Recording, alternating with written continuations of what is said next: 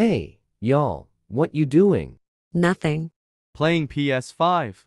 What about you, Layla? Oh, um, sorry. What did you say?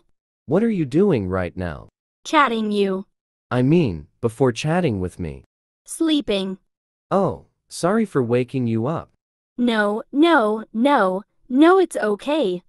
I'm fine with it. Without you texting me, I would have a hard time sleeping at night. Mind, she is so cute. She had an angelic voice.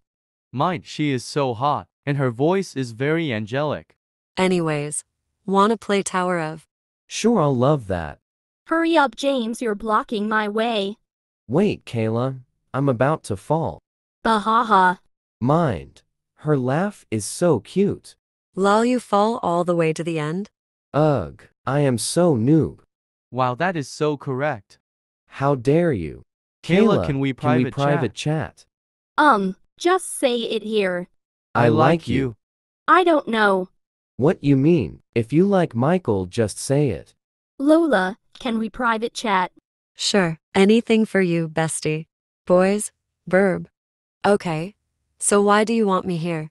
I want to know if they know me very well, and also let me in even though I poor. Sure. I will ask the boys. Why do I kinda like James? Guys, I wanna ask questions. What is her favorite color? Purple and blue. Correct.